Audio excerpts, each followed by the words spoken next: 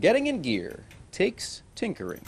Pat Simmons has been doing a lot of that in his backyard shop since 2016. So basically, the bikes that are right here, they've already been tagged. Bikes for Christ is his nonprofit, which refurbishes bikes for people in need around Tampa Bay.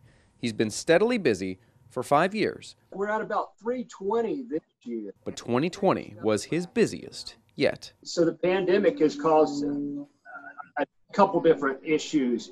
Number one, people uh, losing their jobs, being out of work.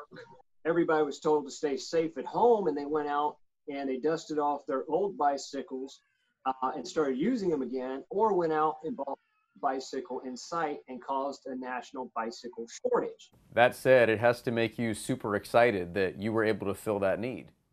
Correct. Yeah. Oh, absolutely. He'll surpass his 2019 total easily.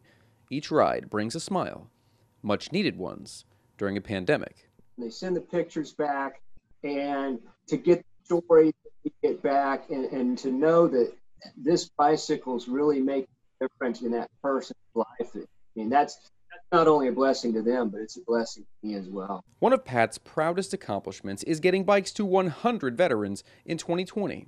And he branched out in a big way this year, sending 23 bikes to Liberia, Africa. The opportunity came up and we jumped on it right away. And with, within a week, we had gotten the bikes we needed, got them fixed up, and and they were ready to go. Man, I get excited. I'm, I mean, I'm like I'm like a kid at Christmas because I'm like, look all these new toys that I have, and now I can uh, prep them and get them ready to go out and people.